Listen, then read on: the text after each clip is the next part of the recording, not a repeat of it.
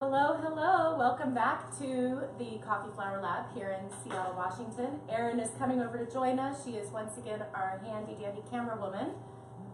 Hi. Hello. and today is a really exciting day. We are kind of giving an ode to summer. Clutching the last moments of summer. Um, this weekend is Labor Day weekend, which marks the official, unofficial end of summer. So we are milking it for everything it's worth and bringing in some of the flavors of summer to kind of wrap it all up. Um, kids are back in school. Almost all the kids are back in school. Those of you who do have kids back in school, congrats. Um, some are going back this next week, so we want to make sure that they wrap their summers up in the best possible way. You as well. So we're going to do some classic summer treats, including I'm going to be making some coffee cherries uh, marshmallows marshmallows for, sandwiched in between some graham crackers. which I'm making. We- s'mores. We alluded to this last time. Hopefully, you put the puzzle together when we said graham crackers, chocolate, and marshmallows. I know it was a complicated one. Yes, we're going to do the coffee flour s'mores. So, coffee cherry flour, both grind profiles in the graham crackers, and And I'm actually utilizing both grind, grind profiles myself in the marshmallow. Awesome. And then I'm going to take some of those graham crackers that are left over. Not that there would be any left over from s'mores, but you might have some scraps. And I'm going to do a um, graham cracker crust with them. And if you know me at all, you know my obsession with lemon is huge. So I'm going to do a super, super easy whole lemon pie using a graham crack coffee flour graham cracker crust. All right, so with all of these things, we're going to be demonstrating how delicious coffee cherry powder goes with chocolate, Yeah. with sweet items Yes. like the graham cracker with chocolate. Uh, it just, it's just very good. Yeah, and then also how it works well with different citrus flavors. Typically, we use Mhm. orange when we do our teas, which you're gonna incorporate tea into the marshmallow. Yeah. This time we're going with lemon, so um, I'm gonna jump right yeah, in if you let's get mind. started. This is this is gonna be a busy one today, so well, let me stop You you. could do it. All right, we're gonna start with marshmallows. So first we're gonna start with a third of a cup of our coffee cherry tea. And so to make the coffee cherry tea, I'm using the coarse grind right here. Uh, a regular coffee pot, it's about 40 grams, a third of a, or a quarter of a cup in a paper filter to 12 cups of water. After it's brewed, you'll get about 10 cups of finished tea because the absorption of the coffee cherry flour. Um, and we'll cool it down and use that tea as the base of this marshmallow. If you don't have the coarse grind access to it quite yet, then you can use water or any other flavored water that you'd like. But Perfect. get the tea.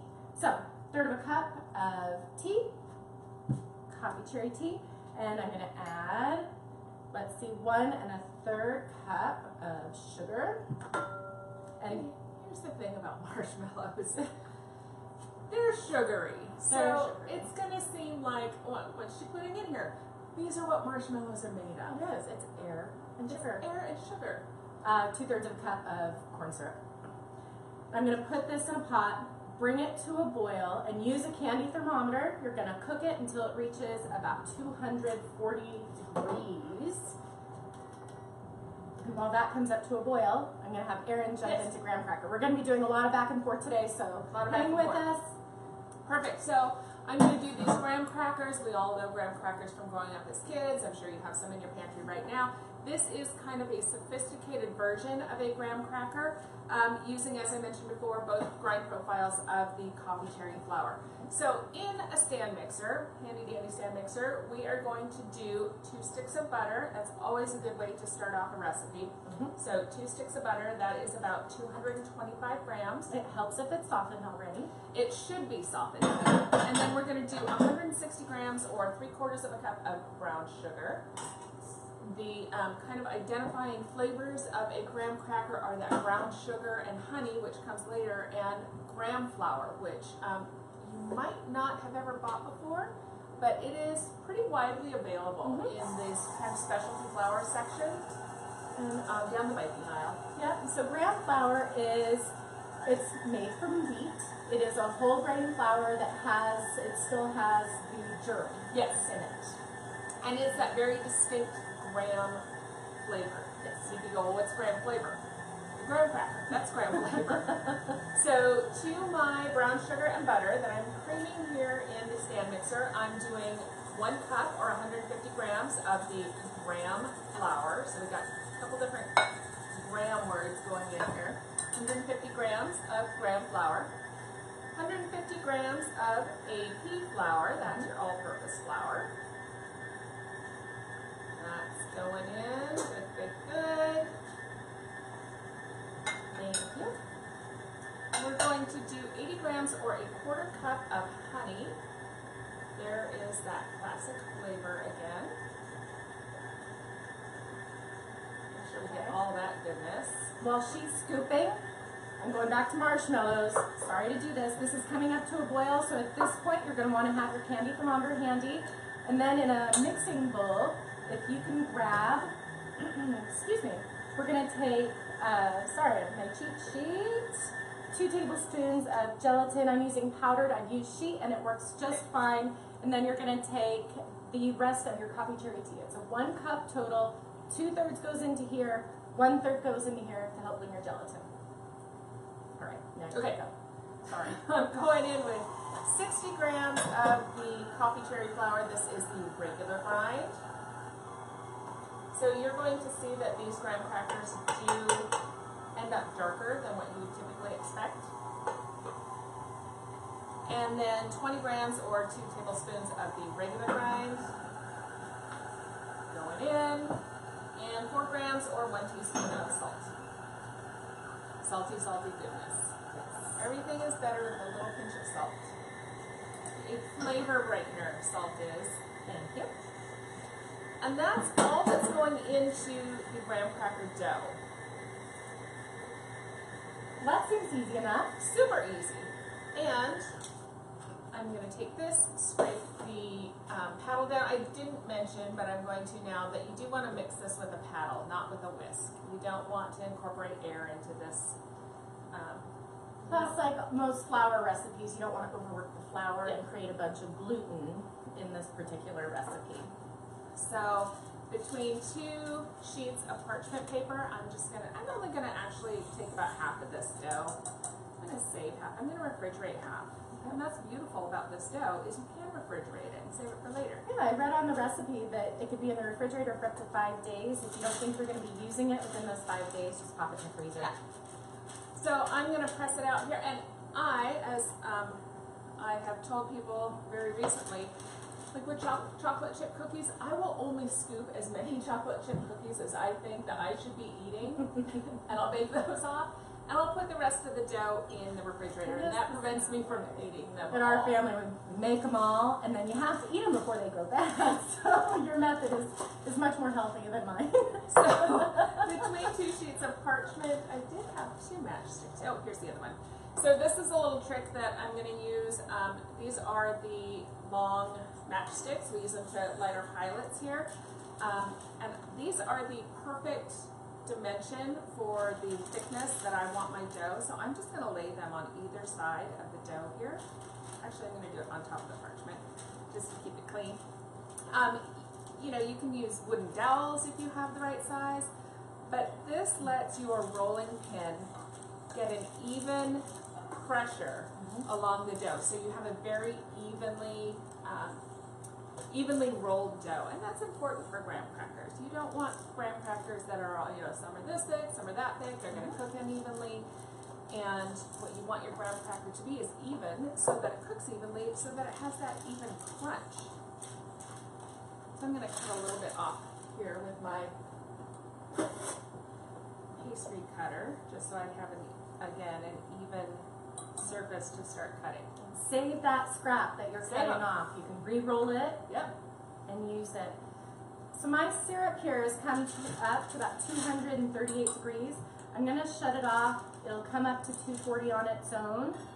In the meantime, I have my bloomed gelatin. Should have done that first, but remember after I started the sugar, and that's okay. It's still gonna work. I'm gonna use my whisk just to make sure that all of the gelatin is moist and bloomed so we don't have any chunks. At that point, I'm gonna add, sorry Erin, I'm just gonna bump in here, but I have one tablespoon, one tablespoon plus one teaspoon of our regular grind uh, coffee cherry powder. Add that and then a teaspoon of salt. And I have the mixer back behind us because this is going to take a little bit of time. At this point, I'm going to put this whisk attachment onto the mixer.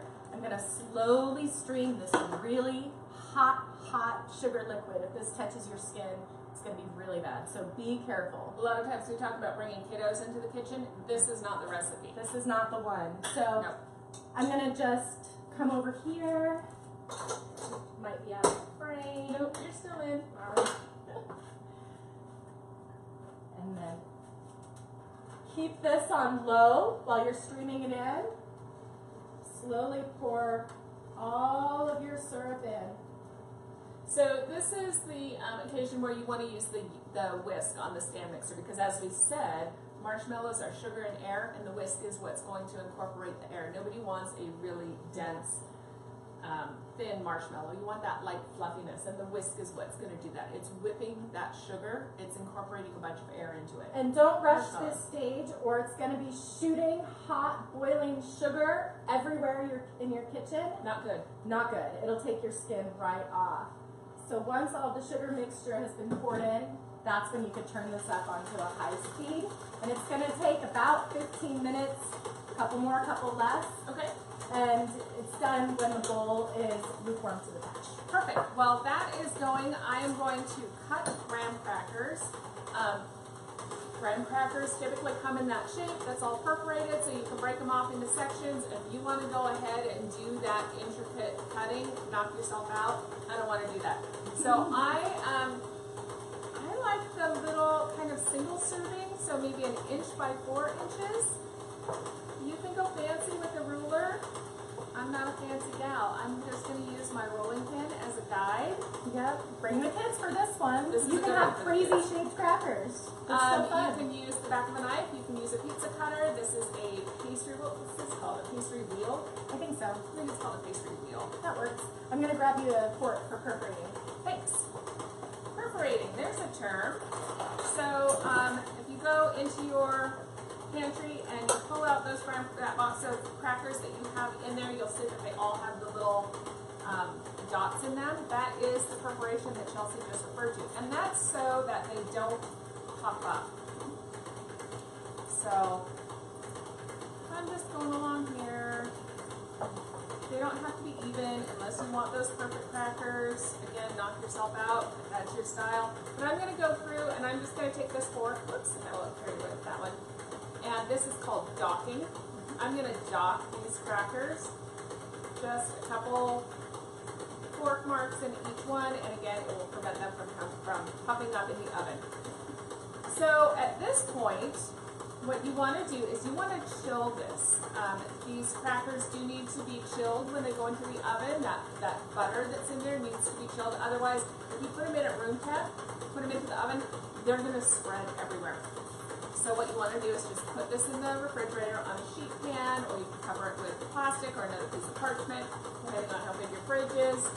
It also gives the coffee cherry powder a chance to absorb some of the moisture in the recipe, which again will help it from spreading. It'll give you a much nicer mouthfeel after it's baked. And it only needs to chill, I don't know, maybe half an hour, just enough time for the, the butter to get a little bit of um, stiffness to it. And then after that, you want to break them apart. You don't want to bake them like this, just break them apart. And they literally will just break apart. They've been, you know, cut with the, with the pastry wheel. Put them about one inch apart on a sheet pan. Cook them at 350 for about, well, depending on the size, um, about 10 minutes, between 8 and 10 minutes. That's all there is to that. I've got some cooking here in the oven. You can. You grab one Yes, you. Multitasking. multitasking. So on these guys, I went with the um, classic 3x3. So I'm going to try to pick one of these up. That won't be too bad. hands of steel. Yeah, kitchen fingers. Um, you can see that they've got the little golf marks in there. They are really dark brown. Have an amazing graham flavor.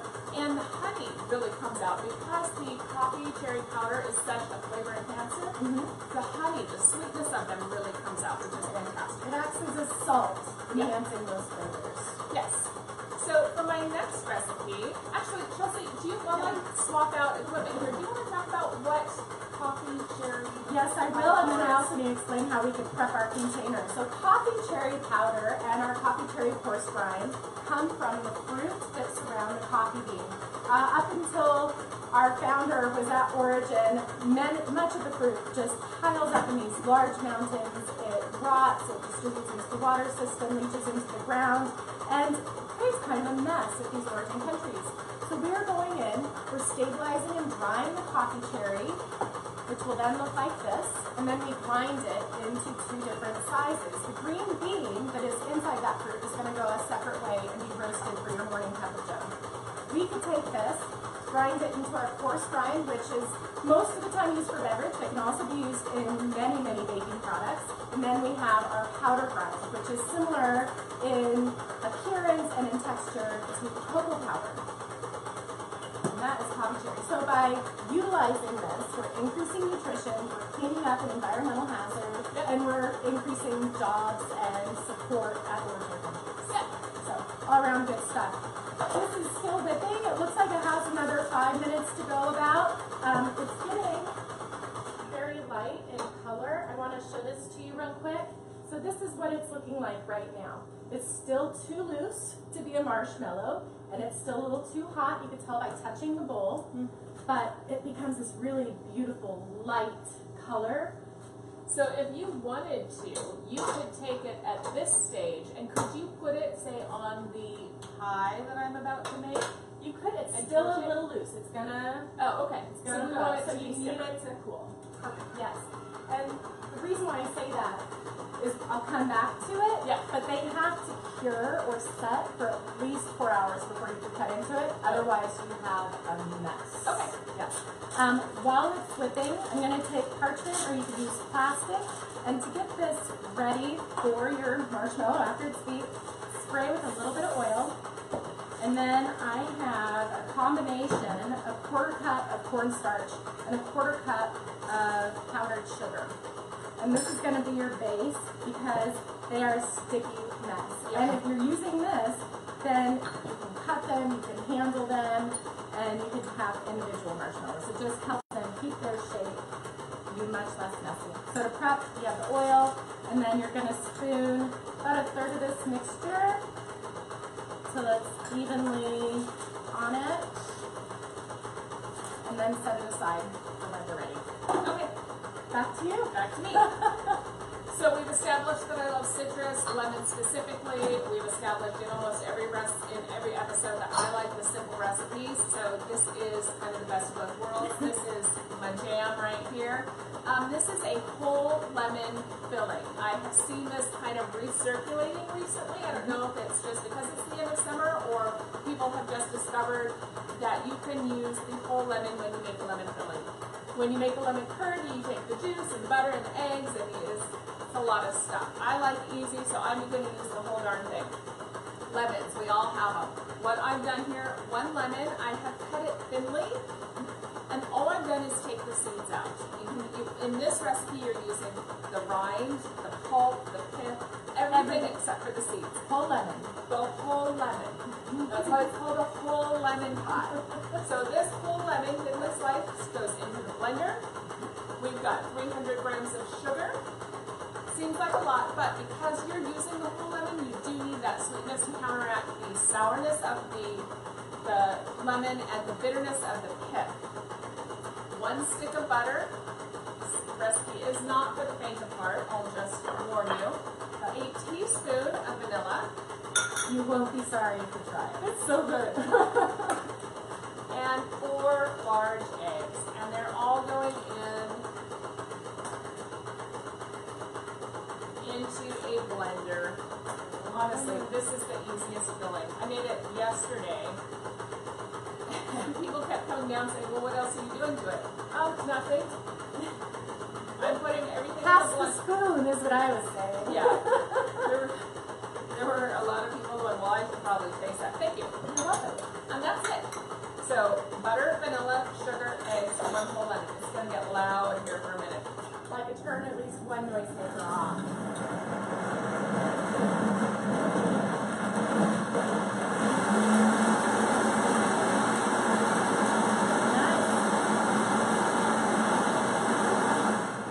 It's that easy. It's that easy. You now have lemon filling.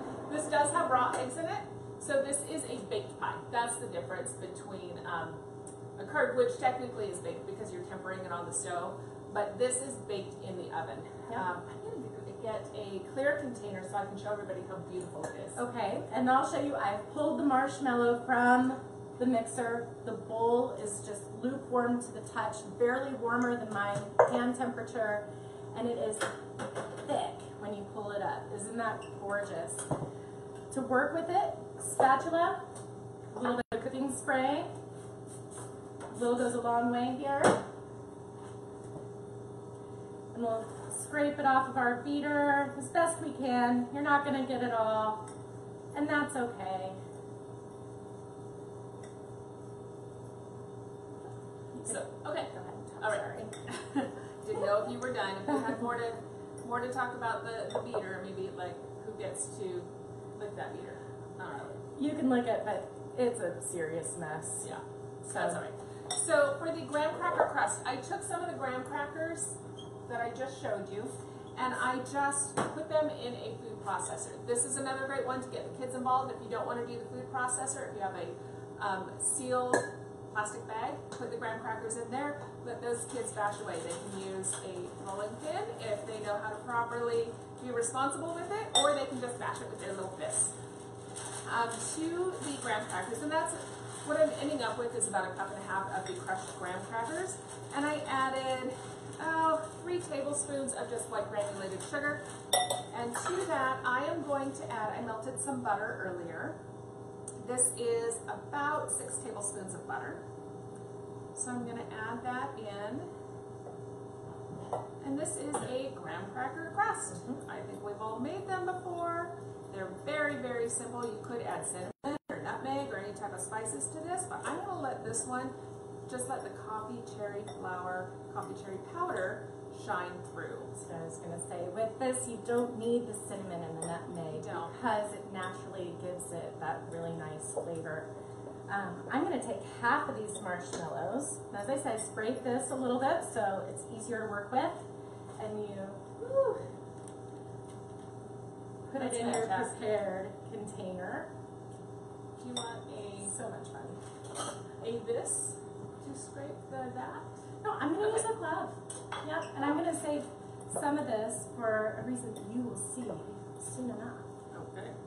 Yes. Okay, so while she's doing that, I have decided that I'm going to do this shape. So a tart. The difference between a pie and a tart is a pie typically has a crust that comes up the sides, and a tart typically just has a bottom crust. A little education for you there. So I'm not going to use all of these graham cracker crumbs in this tart because it's a smaller pan. But I am going to spread them evenly in the pan. Mm-hmm. I think I will use this now. Okay. I put on a glove. You can use a spoon or some of the parchment. You're just going to push this down. As I was saying, sticky, sticky mess. If you need a little help with the handling, you have your cornstarch powdered sugar mixture. You could dust it on top and then continue to push it down to as thick or as thin as you would like your marshmallows. Just keep in mind that the thicker the marshmallow is, the longer it's going to need to set up. So instead of that four hour mark, you might want to let them sit overnight. Okay, now I'm going to show you that beautiful whole lemon filling. It is this gorgeous color. Look at that. It's so beautiful. I hope the camera can pick that up, and it smells amazing. It is fresh and citrusy and buttery and tart and sweet all at the same time. It's everything you want a lemon filling to.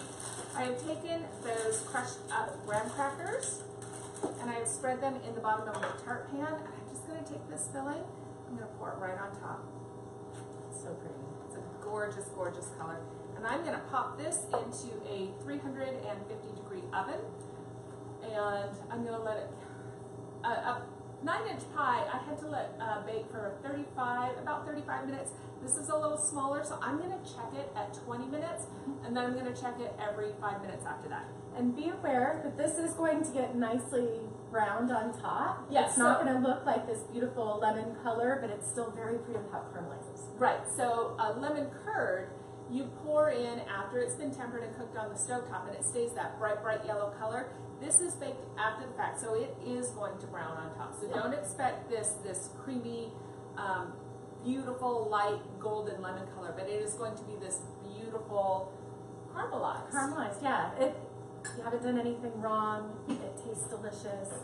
And if you so choose, as you will see in a moment, you can always top it with things like, mm, I don't know, powdered sugar or meringue or marshmallow, perhaps. so that's just going in there. I always put it on a sheet pan whenever I'm baking something that has a liquid filling. I always put it on a sheet pan because I've had to clean out more than my share of ovens where the filling has gone over the edge. So sheet pan is so much easier to clean Yeah. than the bottom of an oven. Let me go this Thank you, thank you. Very So that's just like that. Um, this is one that I cooked yesterday. I did dust it with powdered sugar. You can see the ring of the graham cracker crust around it. It is dark. That's what we were just talking about. And this is the marshmallow.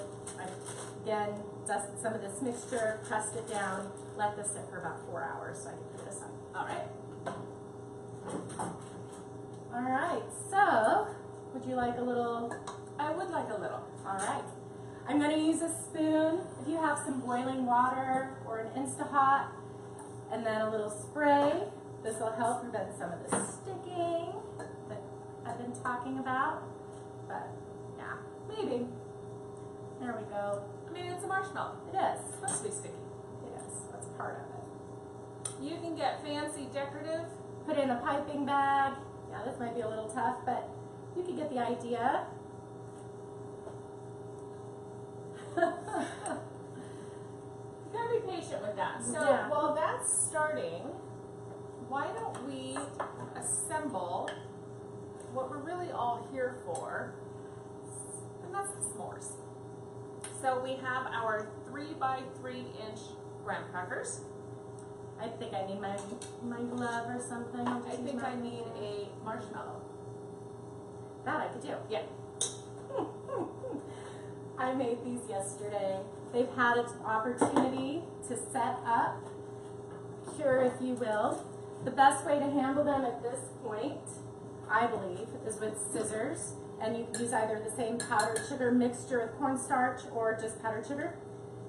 Dip the blades and then cut into your desired shape. That goes on there. Um, now, because we've been told we can't build a campfire in the kitchen, Yeah. we're going to go with the torch because everybody loves a torch. We are. I'm instead of doing it on the wood board, I'm gonna put it on this metal plate. Indeed. And Oh my! Okay. I wish you could. So you see how well, uh, actually, if I could have that torch, I'm going to go from far away Let me unlock. There you go. and um, try. What happened here? I'm not lighting. Okay. Out? You might- I have one more. That's okay. I don't need to melt it more. I was just going to try to get it all melty and gooey so it would ooze out, but Use one of your matches. that's okay. That's all right. Okay. You can see how caramelized the top of the marshmallow got. That's that sugar caramelizing and the chocolate underneath is starting to melt. You guys know how to build a s'more. Take a graham cracker on top and smush it down. And look at that. It's this beautiful campfire treat that we all know and love. It's just a more sophisticated version. Now, when we go to the ocean right around this time of year, oftentimes you can't build fires on the beach, so we will do s'mores in the oven. Mhm. And you just take a sheet pan and line those s'mores up open face. So put one graham cracker down, a piece of chocolate, marshmallow on top, and put it under the broiler for just a minute. Again, I have made the mistake many, many times. And um, those marshmallows will get all gooey. Again, put that top graham cracker on there, and you have instant sheet pan of s'mores to satisfy the masses. Yes. We will have all of these recipes available to you um, on our Facebook page. Yep. Or you can follow us on our Instagram, which is Coffee Flour Lab. We have photos of the s'more, the marshmallow, and the graham cracker. Yep. Make these at home. Don't be intimidated. You saw how easy it was. We were able to make three recipes, and I can't wait to try that pie gonna be good. in less than 20 minutes. Yay! Yeah. Perfect. Um, we will be back in two weeks. No idea what we're gonna make. If you have any ideas, any suggestions, throw them our way. Yeah, and in the meantime, go and try to get some coffee cherry flour. You can get us at Marx Foods uh, or Marx Pantry. MarxPantry.com. Yeah, uh, we're also available on Amazon for when Trader Joe's was carrying us. Uh-huh. Nuts.com. Very good. Nuts.com um, is carrying both grind profiles right now. All right, and if you're in Seattle, um, Merlino's Foods, right? Merlino's Foods, yeah. So until then, um, I guess we'll see you in two weeks. We'll see you in two weeks. Enjoy yourselves and make it a good day. It's time for us to have a sugar rush. I'm gonna go turn off the camera. All right. Oh my goodness, these look good. Thanks again for joining us, everyone.